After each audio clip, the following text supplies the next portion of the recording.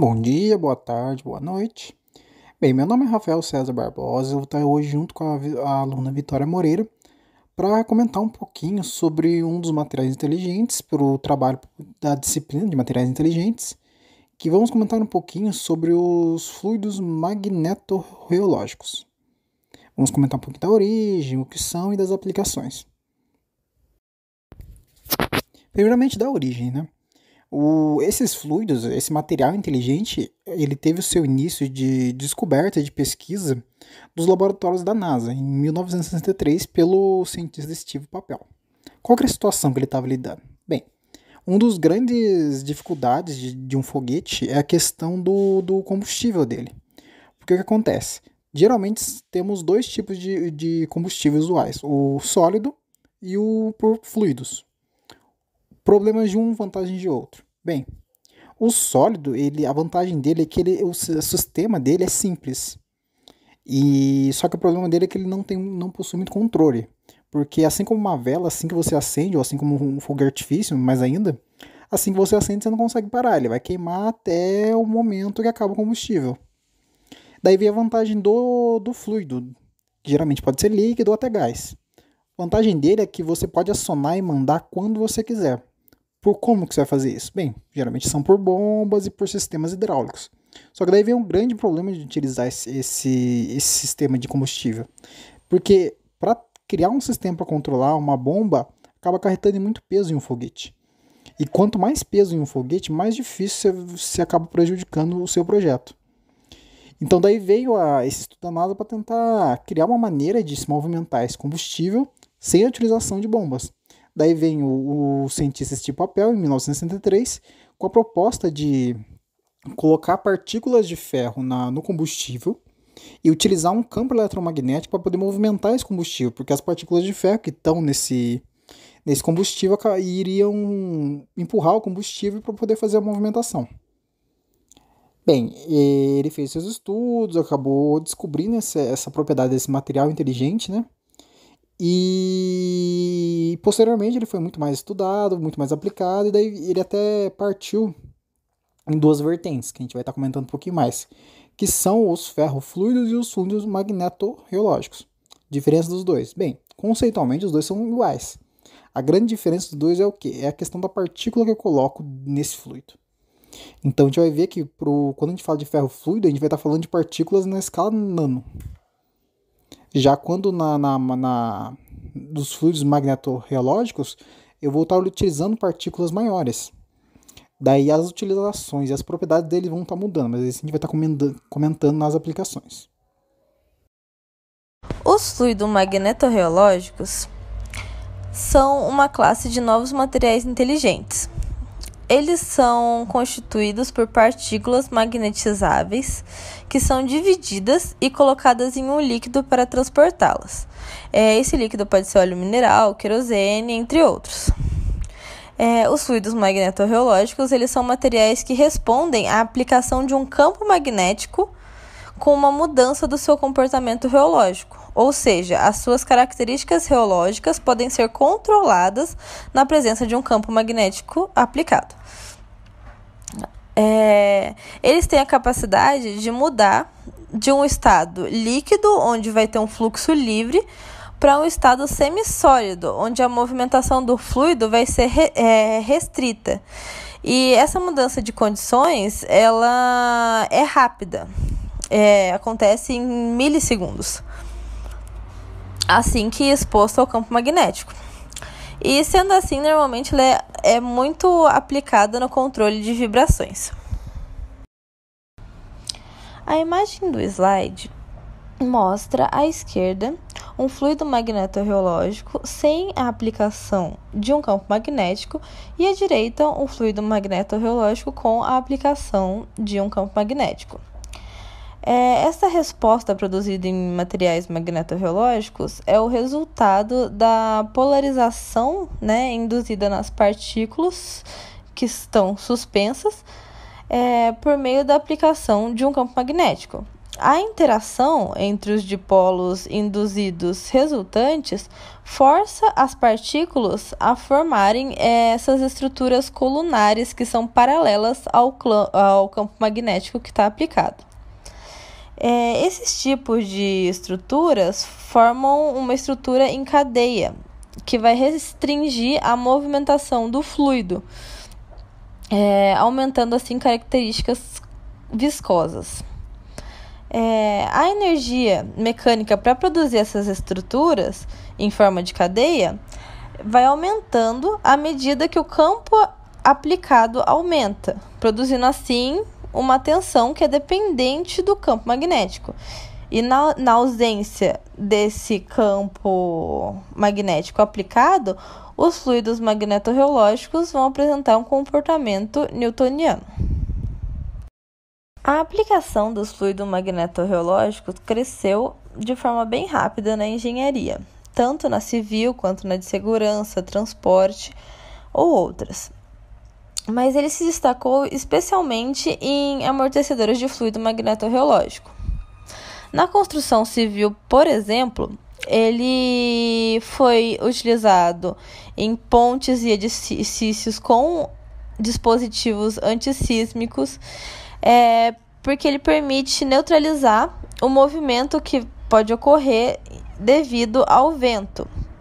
Na imagem do slide, por exemplo, que é da ponte do Lago Dongting, na China, é, que é uma ponte que está equipada com isoladores de movimento magnetorreológicos, que vai neutralizar né, essas correntes de vento que passam por ali para não ter nenhum tipo de variação na ponte né, devido a esse vento.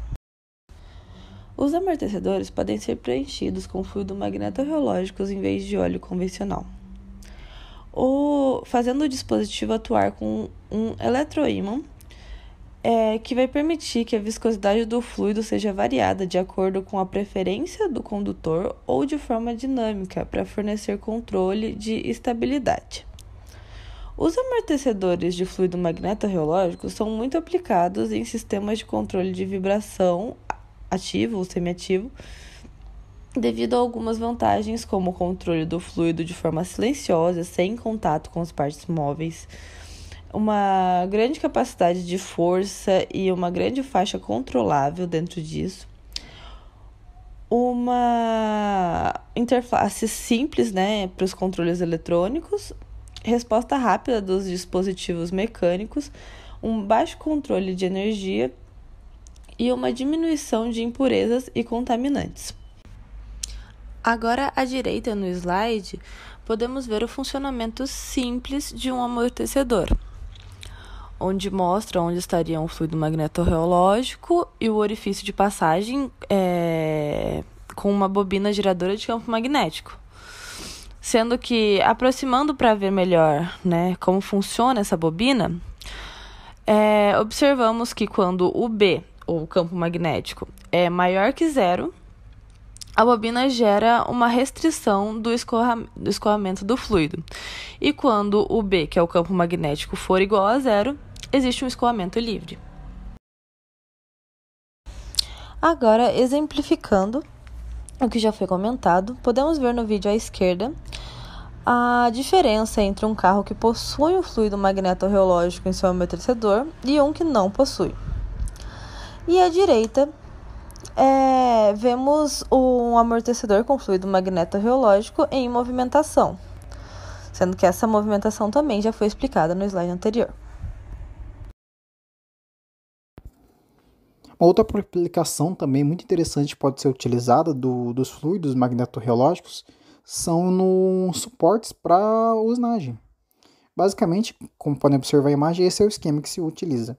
Você faz a fixação do, da sua chapa, do seu cilindro. E o que você vai fazer? Bem, a fixação ela acaba sendo feita por baixo, certo? Só que daí teremos o que? Teremos um longo braço do, do meu tubo, da, da minha chapa, que ele acaba ficando em ar livre. E o ponto dele ficar livre, o problema é o quê? Porque o, devido ao momento, da, na hora que acontece o impacto com a ferramenta de corte, isso acaba gerando vibrações, pode acabar entortando, pode acabar quebrando a própria peça. Então daí em algumas, algumas pesquisas utilizam esse fluido como um suporte mesmo. O que, que basicamente eu vou estar tá fazendo? Eu vou estar tá mergulhando, eu vou ter a fixação embaixo, e entre a, a fixação e a minha ponta de corte, eu vou tá, vai ter esse fluido. Daí o que acontece? Bem, como fluido ele só vai estar tá ali mergulhado tranquilamente. Só que na hora da usinagem, o que eu vou fazer? Eu vou colocar um campo eletromagnético.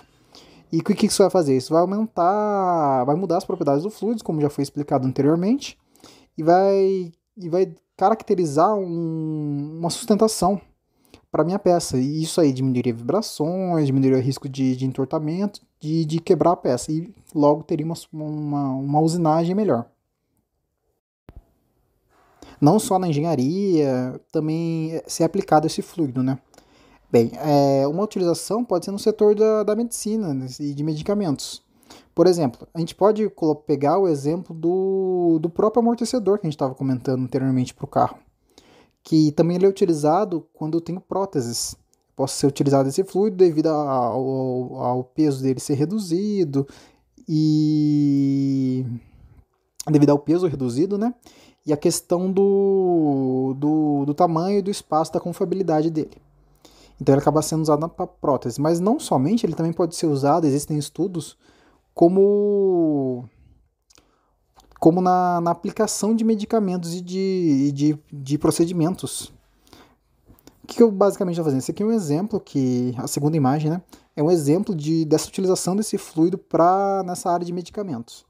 O que, eu vou estar fazendo? Bem, eu vou pegar esse fluido e vou aplicar esse fluido no, no corpo, né? E a ideia é o que? É utilizando, utilizando um campo eletromagnético, eu vou conseguir o que? Eu vou conseguir direcionar as partículas de ferro para uma região específica. Então isso aí pode ser usado para quê? Bem, como ele deu para ver, ele, ele pode ser utilizado na, no tratamento de tumores, porque eu posso criar um medicamento que vai afetar exatamente onde eu quero. Então eu utilizo esse fluido para direcionar onde meu, meu equipamento vai afetar. Não somente, ele também pode ser utilizado na parte de, de imagens. Assim como gente tem um raio-x, né? O, eu posso ser, utilizar esse fluido para destacar imagens que eu tiro. Eu faço a mesma, mesma ideia. Eu vou pegar, vou injetar o fluido no corpo do ser humano e vou colocar esse, esse campo eletromagnético onde eu quero. Daí esse fluido vai se movimentar e vai, vai ajudar na, na utilização para retirada de imagens para poder fazer diagnósticos. Então é um, é um material inteligente bem interessante que ele tem aplicações em outras áreas além da, da mecânica e da engenharia civil, como a gente comentou anteriormente. Bem, galera, era isso que a gente queria falar um pouquinho, comentar de, desse material inteligente, que, que é bem interessante e, e, tem aplicações, diversas aplicações, né? Ele não é só um fluido bonito de vídeo de YouTube. É, e a questão da, dele, ser, dele ser um material inteligente é devido a ele ter essa mudança de propriedades e características dependendo do, do campo eletromagnético que ele está exposto. Então aqui são algumas referências, é, agradecemos toda a atenção, qualquer dúvida pode mandar para a gente e tchau, tchau.